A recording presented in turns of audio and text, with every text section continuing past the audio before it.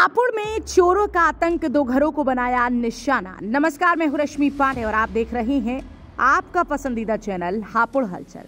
आपको बता दें कि ये मामला गढ़मुक्तेश्वर नानपुर चौकी क्षेत्र के अक्खापुर का है, जहाँ चोरों ने बीती रात को दो घरों को अपना निशाना बनाते हुए छत पर चढ़कर सीढ़ियों से उतरकर रात 12 से 2 बजे के बीच में चोरों ने दो घरों में चोरी की घटना को अंजाम दिया। और चोरी के परिवार को भनक तक नहीं लगी। सोते रहे परिवार, जाग होने पर देखा तो सेफ़ के ताले टूटे हुए मिले।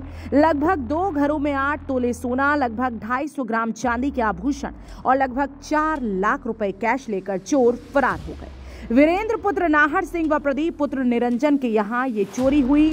चंद दिनों पहले ही वीरेंद्र के लड़के की शादी हुई थी और प्रदीप को ट्रैक्टर खरीद कर लाना बहरहाल इसी तरह की खबरों से खुद को अपडेट रखने के लिए तुरंत सब्सक्राइब करें आपका अपना चैनल हापुल हलचल और बेल आइकन प्रेस करना ना भूलें।